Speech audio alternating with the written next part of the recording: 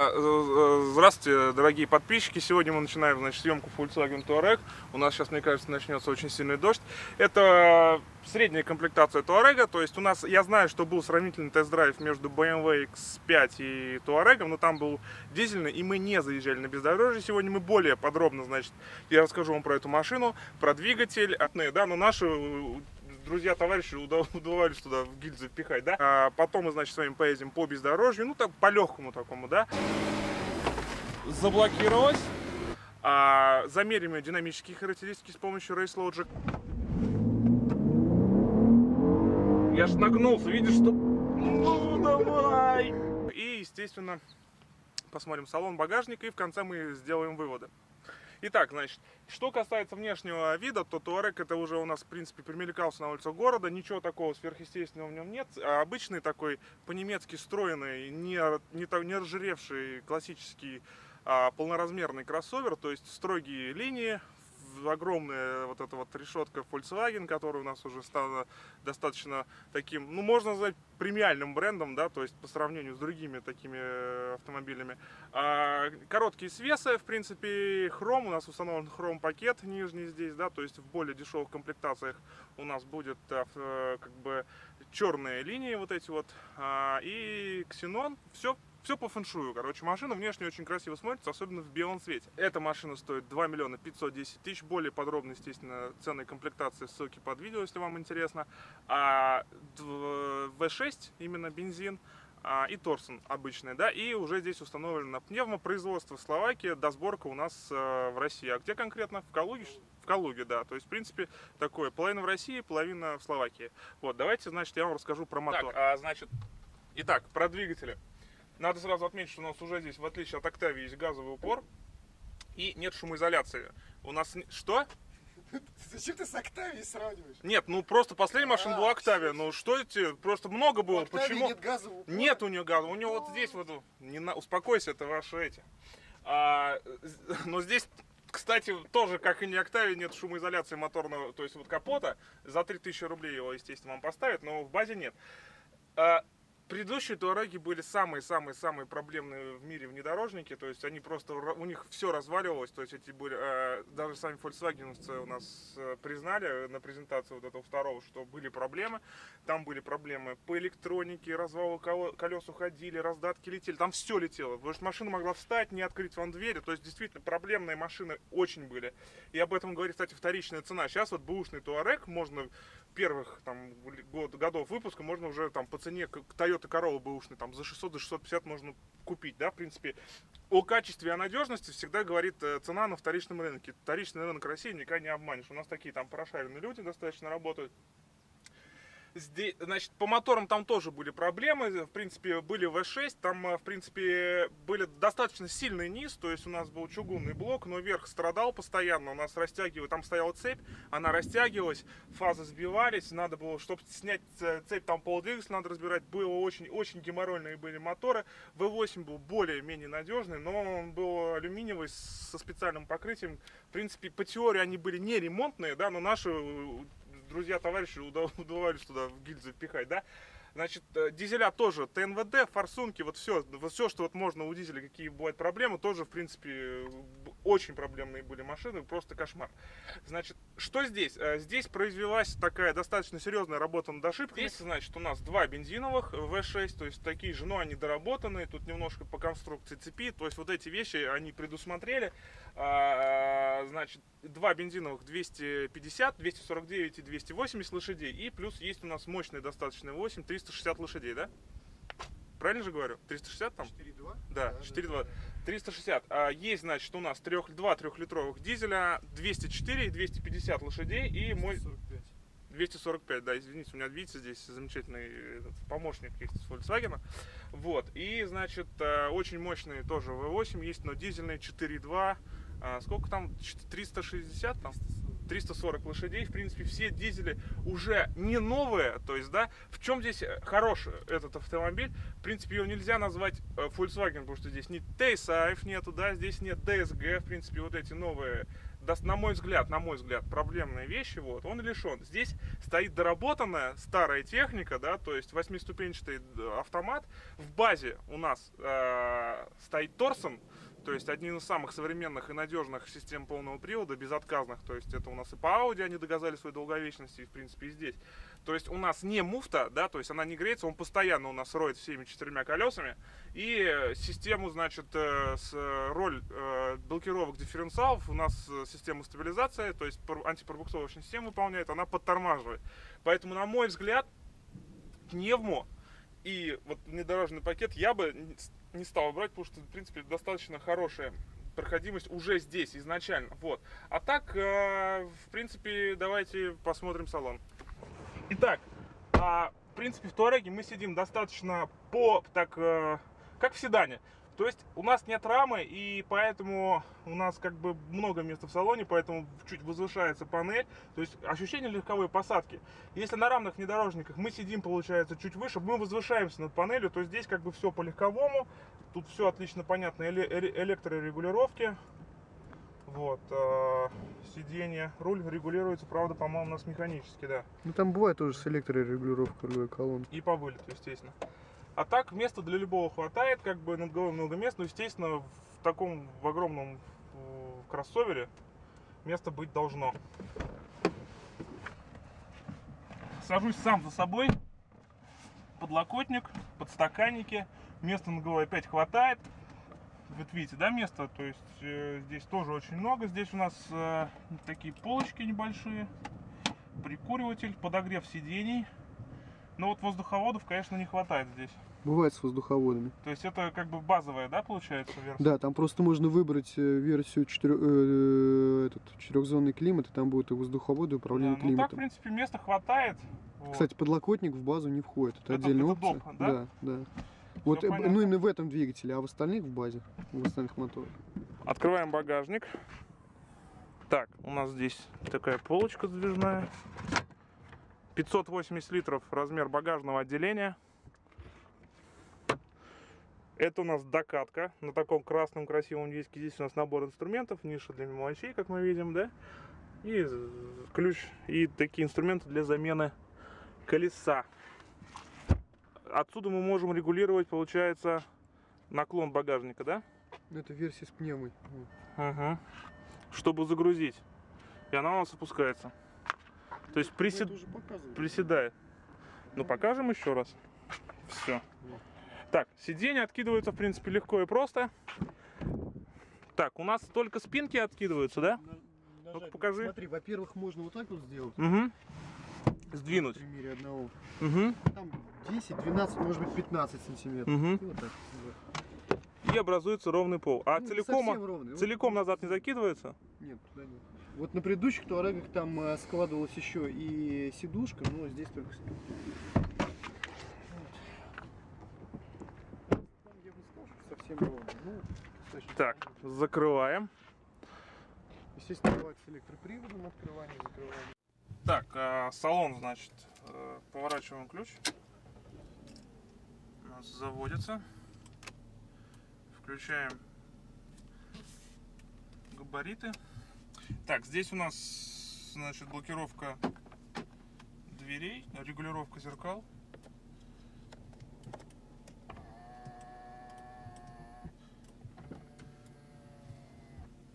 Так, далее, значит, естественно, 4 стеклоподъемника.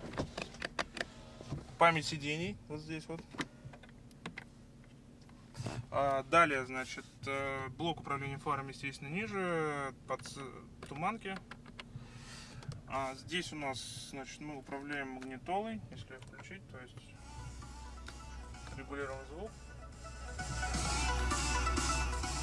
Вот. И далее, значит, у нас э, меню управления бортовым компьютером. Пробег средней скоростью прекрасно все видите. Вот. А далее, значит, такой небольшой ящичек. Тут можно документы нам хранить, да? Что здесь по статистике обычно хранят? Документы? Да нет, кстати. Вот не ведете, а зря. А, естественно. Так, это у нас отключение парковочных датчиков, да? Сенсорная магнитола. 15 лет. Магазин брендовой одежды. Какая замечательная музыка. Так, а, блок управления климат-контролем. Заработал.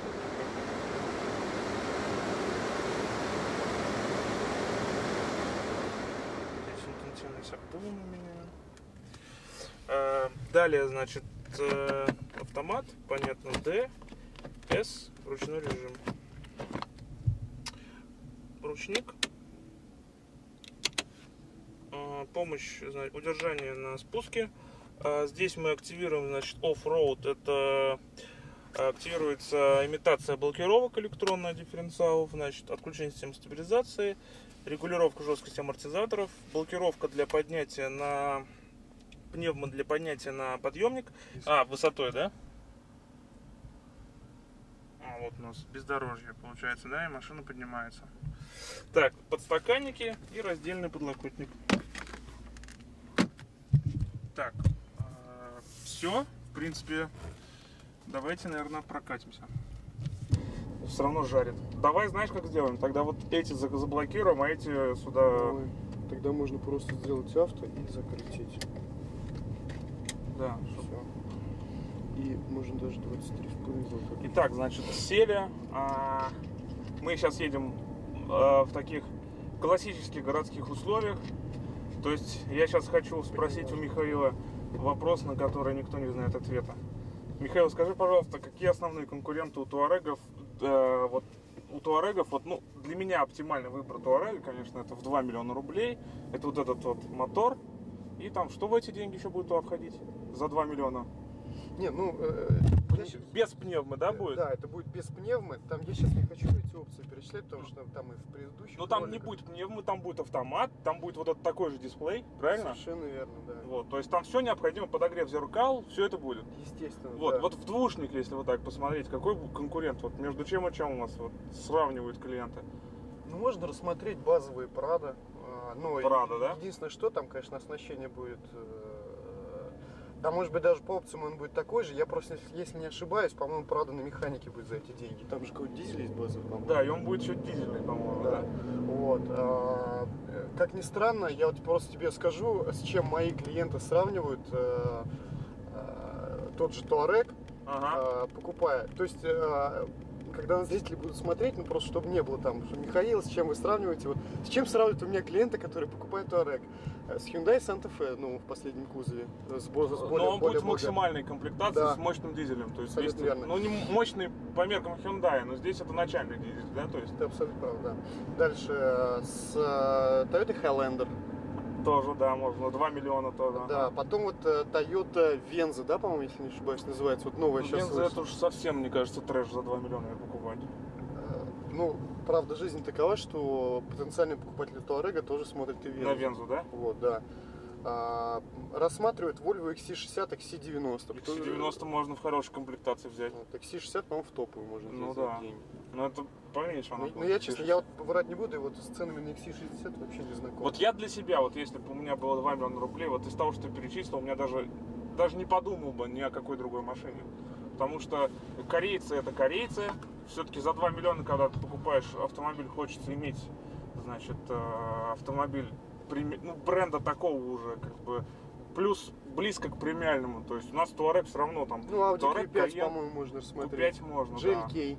GLK можно тоже рассмотреть. Но они меньше. Но вот я вот, если мне часто, X3. часто задают вопрос, какой бы автомобиль вы мне пригнали до 2, за 2 миллиона рублей, там я бы именно только Touareg. То есть я бы даже не думал, если сейчас. Уже там с V8, который 3 300, я считаю, что это неоправданно дорого, я бы эти автомобили брать не, не- не стал. Мгм. Вот, потому что 2 миллиона, я считаю, это оптимальная как бы цена за этот автомобиль. Практически тот же самый Cayenne, то есть премиальный авто, по сути, за, за народные деньги. А потом уже, когда он пересекаться с Cayenne начинает из-за более мощного мотора, с V8 с бензином на скольки он начинается там? Э, 365, по-моему. 3200. Там уже СРТ попахивает в эти, там еще 300 тысяч добавить, и у вас будет А валить что, СРТ 3 с копейками? Три с половиной. Я думал, дороже. Все думают, что дороже, но официальная дилерская цена, за которую, естественно, никто не привезет, но в реале там будет 3 750, 3 800 со всеми опциями, там, с касками, со всеми. Вот. А так, э, если говорить, значит, вот сейчас мы, естественно, высоко сидим, у нас автомат, мы не замечаем, как переключает передача. То есть, в принципе, достаточно хорошая шумоизоляция. Ну вот мне нравится бензиновый мотор, конечно, то, что вот, во-первых, он очень тихий здесь. Мне это очень удивительно, что он здесь очень тихий. И плюс то, что он а, как бы... Вот сейчас у нас 6... Ну, сейчас можем потом общий расход же посмотреть, да? Стрелку вниз нажми. Где? Право, право. Правую, правую стрелку вниз. Вот эту? Да. Ну, 27 пока мы литров. выехали. Сейчас там. Э, То есть он, он примерно в конце теста надо не забыть, чтобы как бы рассказать про расход. Потому что очень волнует, сколько же ест бензиновый двигатель. Все берут дизельный туарек из-за экономии. Вот. Но в итоге из-за нашей отвратительной солярки, не, я, конечно, понимаю, что ну зачем сейчас звонить? А, Volkswagen, да? И самое важное, естественно, если жрущий ли здесь стоит V6, потому что я считаю, что норма для такого автомобиля в городе ну, 15-16 литров бензина. Если он будет жрать больше, это уже не... не... Ну, куда насмотрелись? Ну ты говори, говори, не- Я не хотел, хот- хотел сказать, что чё, норма для такого норма для такого бензинового э, для норма для Разгона? ну нет это не V8 конечно но нет его не слышно понимаешь? Нет там что-то бурчит снизу но его не слышно по большому счету. Вот поэтому я-то думаю что на самом деле ну а, достаточно конечно момент на низах у него меньше чем у дизеля чувствуется мотор так немножко напрягается другой стороны, для бензинового двигателя тут момен- момент более чем достаточно. да то есть э, 300 360 Но это- зато он крутится на верхах потом, где бензиновый двигатель, ой, где дизель уже переключает. Мы, естественно, динамику-то проверим, потому что это очень интересно. Я помню просто в сравнении с Туарегом, когда мы, ой, Туарег сравнивали с X5, у нас была дизельная версия и достаточно была очень хорошая динамика. Мы ехали по плохой, сейчас едем по, по плохой дороге, средняя скорость. Ну вот сейчас Volkswagen 100 показывает, а вот, вот Race Logic показал только недавно эту скорость. А вибрация чувствуется, естественно, да, несмотря на то, что мы едем на пневме, но она меньше, чем у X5, как мы помним из прошлого теста. А руль, в принципе, мы э, повторять профиль дороги, мы его чувствуем в нуле, из-за этого у нас все-таки приходится контролировать автомобиль, то есть остренькое такое управление, не, что абсолютно не будет характерным для э, тех же равных внедорожников, где мы с трудом будем чувствовать руль в нуле и вот не чувствовать вот эту вот э, э, такую вот небольшую дорожную неровность. Очень легко машина, вот 100, 100 входим в поворот, оттормаживаемся, вне- внешний радиус, то есть по внутреннему, ну, скорость небольшая, потому что все-таки машина высокая. Вот, ну, в принципе, держится бодрячком машина, да, неплохо. Очень для... КамАЗ, пропусти нас, пожалуйста. Ух ты. Вот мне вот интересно, мы вот в каждом ролике тараним грузовики, когда же наконец произойдет состыковка? Ну вот как произойдет, так это будет самый популярный ролик. Так, вот мы сейчас, значит, выезжаем в обычном положении пневмы на неровную дорогу, да, то есть жестковато, конечно, да? Можно еще включу? Включу там. А что просто- ты хочешь включить? Нет, нет, ты можешь ехать. Э, Я тебе просто хочу включить э, цифровое Музыку указание спидометра. А, чтобы зрители А. наши видели, А, нет. 40 литров. Что-то он не падает, Михаил, расход-то. А, вот так. И мне просто самому любопытно, там, насколько сильно будет отличаться. Ну вот цифровое 11 здесь. показание. 11. А смотри-ка, ровно, по-моему, показывает. Вот я, я как раз в том-то дело. 17, Только когда ты сказал, 17, что по-разному, по-моему, 20, как раз 20. одинаково показывал. 20, да, почти одинаково, кстати. В, э, я с- ви- плотно Смелее, знаком смелее. с разными, да. Да. Спасибо, это я волнуюсь. Да, А, С разными приборными паneлями, и вот все-таки на немецких плотно знаком, ты как электрик говоришь. Вот, и, блин, ну тут все-таки достаточно на э, высокой степени точное, поэтому да вообще одинаковые показания показывают. Ну вот сейчас мы когда разгон будем замерять, посмотрим, насколько здесь э, они отличаются от заводских. Но пока вот э, в обычном положении едем пневмо, то есть это самое мягкое, да? Э, Нет, нет, это как раз обычное среднее. Ну, давай мягкое остальными сделай. Щас. А как он называется? Амортизатор? А, комфорт. Комфортно. То есть у нас уровень такой же остается, да? А, там на низких скоростях 2 сантиметра вверх машина подает. 2 сантиметра это хорошо. Нет, а ровно показывает, да? Если с рейсла, да. Да, сейчас Ты, действительно, кстати, ощущаешь меня? сейчас помягче стало. Но пружинная за 2 миллиона, погоди, это на пневме стоит 2 500. Да, да. А сколько стоит пневма отдельно? 97 тысяч. За эти деньги можно УАЗик купить бэушный. И забыть про пневму. Так, а, едем. А что ты смеешься? Не, просто мне, знаешь, мне вот, у те- у тебя все время так- такие интересные сравнения, знаешь, вот мне кажется, только ты бы мог догадаться там сравнить. Нет, ну там, конечно, смотри, стоимость. вот смотри, базовый Туарек стоит сколько? С обычным Торсоном, то есть, поста... о господи, какая дорога отвратительная. С обычным полным приводом сколько у нас стоит? Стоит 2 миллиона, правильно? Если я захочу, например, внедорожные Миллион примочки, 900 теперь, да. то есть, э, пони- то есть понижайку, грубо говоря, там блокировку заднего дифференциала, мне нужно с пневмой доплатить. Сколько всего? То есть пневма Нет, и... ну, э, Там, смотри, во-первых, э, модификация вот с пакетом Terrain Tech, с, ним- вот с внедорожным арсеналом, она Мгм. стоит дороже. Вот. А, а отдельная опция пневмоподвеска, ну, ну, грубо 100. Сейчас 100. Ну и плюс, а если вот внедорожный пакет, он включает уже блокировку, ой, э, этот, пневмоподвеску? Нет, не включает. Ну вот, я тебе говорю, что я бы, если брал, например, а, Touareg за 2 миллиона, я бы не жаловался из-за того, что у меня нет пневмоподвески, и там этой внедорожной трансмиссии. Я просто отдельно купил бы какой-нибудь у вас Хантер за 120, за 130 тысяч и ездил бы там.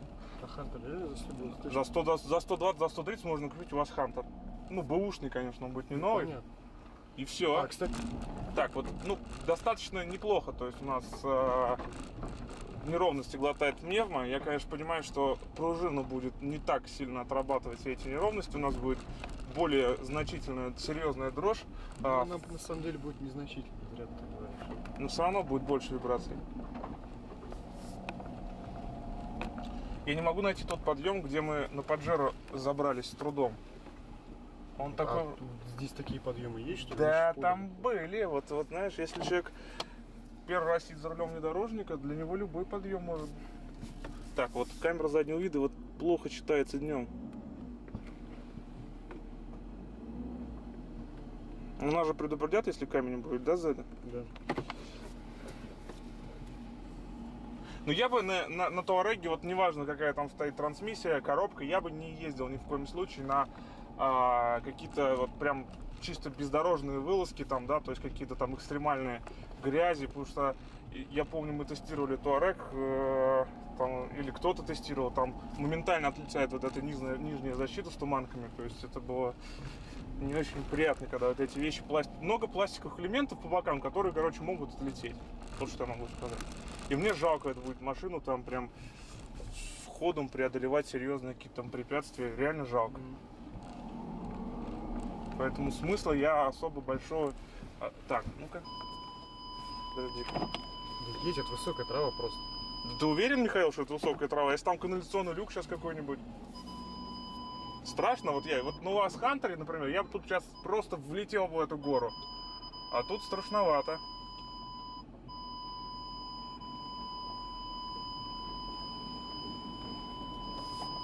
Я, кстати, предлагаю поднять.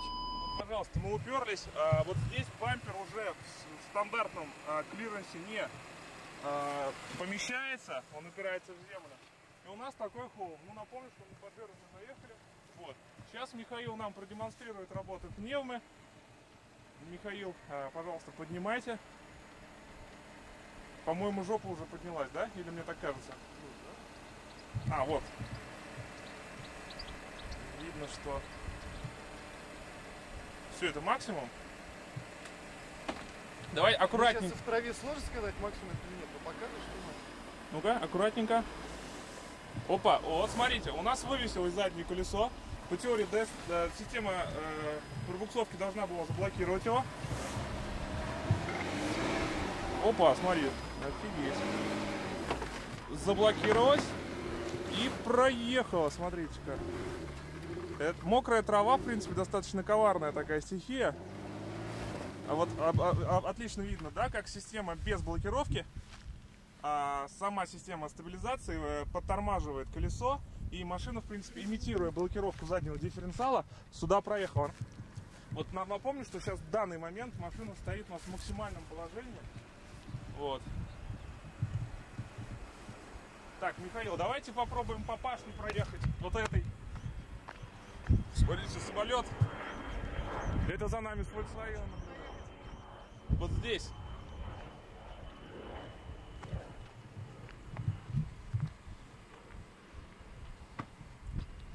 А это, в принципе, можно и на УАЗике проехать. Ой, господи, на- на-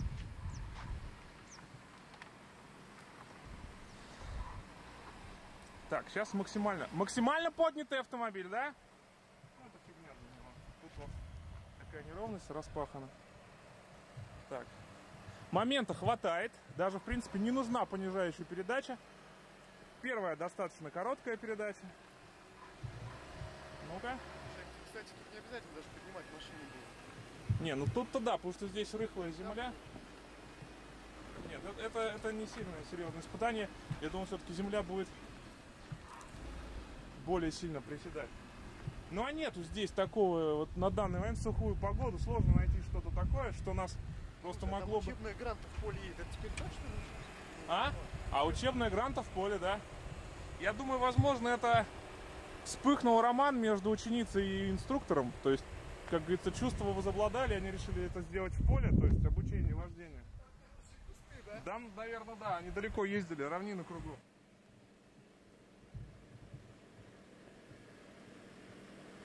Она, подожди, подожди, подожди, стой. Она сейчас в максимально низком положении, да? А, вот обычно, вот давай, ну-ка. Ну вот, в принципе, да, Не так быстро. Ага, ну все, в принципе. Это, это не сильное испытание, опять же. Вот, видите, подожди. Вот я про это говорил. Вот эти вещи первым делом всегда отлетают на бездорожье. То есть вот эта вставочка они сделаны отдельно. То есть здесь полно пластиковых элементов, из-за которых я бы не стал а, как бы выгонять ее вот эти замечательные хромированные насадки, да, то есть вот эта часть, не- несмотря на то, что она обработана дополнительной резиной, но вот видите, здесь уже немножко сошло, ну это нормально, это, естественно, сделали не мы. А вот эта вот боковая часть тоже легко поцарапается. Хромированные вот эти вещи. Вот пакет, который вот, э, это опция вот крашеная снизу молдинги, или Да, да, это опция Chrome and Style. Есть э, опция у обычного, то есть туарега в минималке вот этих вещей не будет, да, я понимаю? совершенно верно. И вот этих, они будут черные. Совершенно Вот это вот правильно, я считаю. Потому что вот зачем вот это вот нужно? А так там, ну, если просто интересно, хотя я в предыдущих роликах говорил, там помимо пакета, э, э, пакета Chrome and Style есть еще пакет Terrain э, не связанный с коробкой передач, а связанный банально с обвесом. То, То есть там, там или или можно. Ну да, тогда это более-менее. Вот это, если бы я, например, я бы вот это тоже в черную покрасил. Вот это. Это черное, да? А, ну тогда это логично. Ну, сейчас, когда на дороге общего пользования выйдем, несмотря, кстати, на минимальный пробег и необкатанный автомобиль, литров 14 по городу А. Я хотел еще сказать, что в принципе обычного Торсона э, постоянный полный привод, то есть без муфты, который не отключается в случае пробуксовки, здесь вполне хватает, даже на пружинной подвеске. То есть я бы не стал переплачивать за вот эти внедорожные опции, потому что машину жалко. А там, где проехать чуть дальше, чем а, паркетники за счет там Сколько у него в базе клиренса на пружинной подвеске? Ну, вот, э, вот сейчас я внимательно изучал э, заявленные характеристики 201 миллиметр. 201. Это, это больше, чем у Хотя паркетника. я лично не ленился, замерял, 22 было. Но будем отталкиваться от официальных характеристик. Ну да, это неплохо. Я считаю, что это неплохо. Давайте это сделаем не с двух педалей. Нет, ну да, да, просто как обычно. С S. Так, у нас сейчас S включился, Кстати, да? я тебе рекомендую с D сделать. Почему с D? Потому что... э, Ступит с S? Нет, с S не тупит, потому что вообще даже с D он должен выдать. Давай просто, давай тогда, значит, выключаем климат. Ну, это тоже не обязательно. Нет, Ну, давай выключим климат. Хорошо, хорошо. Давай, давай включим климат. И сначала попробуем с климатом, Ну, хорошо, а давай. потом без. Ты включи D опять. Все, Ну, я D. D. Вот. Так, ну вот у нас готов, значит, прибор.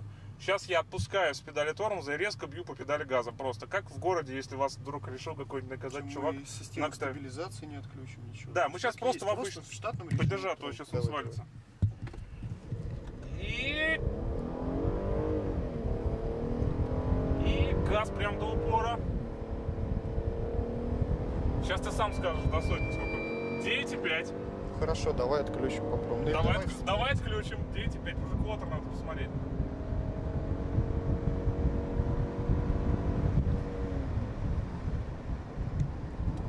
Сейчас мы попробуем все отключить. А куда квотер смотреть? Сейчас я тебе скажу, квотер. Так, мы чуть вниз просто пройдемся по меню, и там будет 0100. Михаил сейчас сам скажет мне, значит, это тут полностью всю скорость. Ну скажи, квотер. А куда смотреть? 16,8. 16.8, значит, Октавия пока нас бы смогла дернуть на 400 метров. То есть, по большому счету, посад быстрее Туарега? Ну, мы же не мерили посад. Нет, ну Октавия ж мотор от посад стоит 1.8, мы же про двигатель. 1.8, но там Нет. 180 лошадей. А, 180, ну все, понял. Не, я... Там реально 180? Там 180 Коробки лошадей. На, торопке, на, торопке. На коробке. Там не коробка, там торопка. Это быстрая коробка, Я понимаешь? понял, там 6 или 7 ступенчатый? Надо ТСГ было торопкой называть. Там 6 или 7 ступенчатый? Там 7 э, стоит 7 э, э, Он, значит, начинает э, пикать, когда мы барьер 100 км в час преодолеваем. Там, там стоит э, семиступенчатая ДСГ, на более мощном дизеле там стоит шестиступенчатая. А, дизель там. Дизель 2 литра, ну там, там он не такой мощный, там момент мощный достаточно. Ну, я понял. Так, значит, возвращаемся. а, Возвращаемся. Ну что, мы будем бить рекорд? Ну, что, главное, чтобы когда мы били рекорд, мы не били бульдозер вот тут. Режим спорт и отключаем Михаил, включай все, что можно сейчас включить, блин, понял? Потому что мы сейчас, мы сейчас, блин, мне кажется, тут... Ну, я же это не придумываю, понимаешь, вот. Нет, а что, а на Октаве тоже с климатом со всей хуйней было Не, на? Октаве тебя клим... я на Октаве климат выключал. Ну, сейчас я выключил климат. Так, включи ОС. Выключим Систему систему, стабилизации. стабилизации и так и включили спорт. Что еще здесь можно выключить, чтобы она быстрее Нужно поехала? Антона, блин, Нет, я вижу нет. тебя. Ну, ну, давайте, попробуем, У значит. нас лишние 65 килограмм груза, я хочу забить. Ты 65 килограмм весишь? Э, Как здоровый кстати. Так, подожди, подожди, ну подожди, дай сейчас. Слушай, тут пока без климата минут 10 ты находишься, уже невозможно просто здесь находиться. Это тоже проблема машины или окружающей среды? Это проблема всего человечества, которое живет в России. То Ну, зима, сейчас минус вроде всё 30, в то жара. Так, давайте, значит, еще раз. Что-то четвертый раз попробуем стартануть. Я ж нагнулся, видишь, что... Ну, давай! Кстати, вот у тебя самый первый раз прям вообще очень быстро. 9,3. Я не помню, где Котр, поэтому поедем до бульдозера. А вот он как раз разворачивается. Почему у меня все время с тобой давление подскакивает, а? В колесах, что ли? И в колесах тоже, кстати. Ну, в общем, 9,3. Так, а, значит, какие можно сделать выводы? Динамика 9,3. Ну, может быть, то, что машина еще не обкатана, можно сделать э, какое-то вот исключение из этого, да? Ну, как вы видели, 9,3. Хорошая, значит, э, проходимость, даже в базе я советую все-таки, она будет хорошо вам рыть песок, грязь и снег, то есть по пляжу, там на рыбалку съездить можно, но не для экстремального, естественно, бездорожья.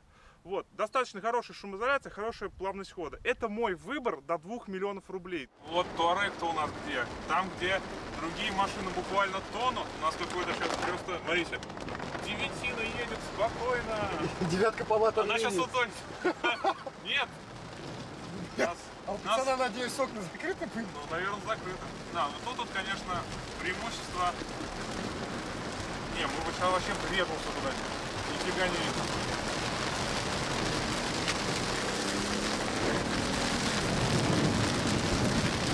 Какой кошмар. Вот у нас чисто российский классический челябинский дождь. Кошмар, смотри, какой кошмар. Заливает во все щели. У нас либо снегопад, где танки не проезжают, либо вот надо на лодках ездить. Ужас. Машины даже стоят.